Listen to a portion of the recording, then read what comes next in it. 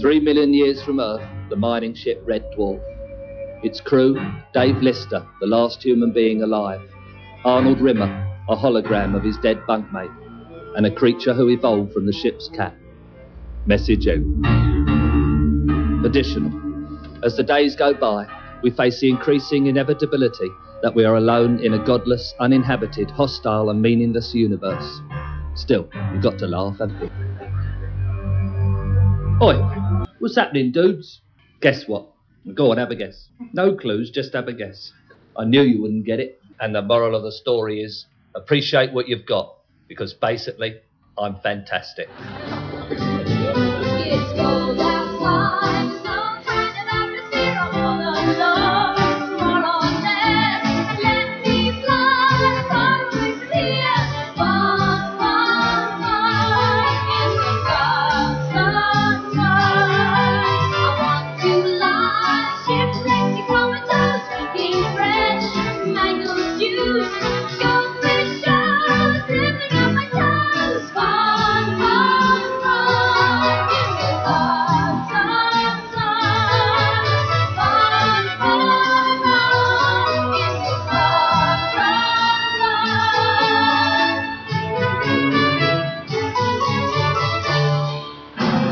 Dark sunshine. Message out.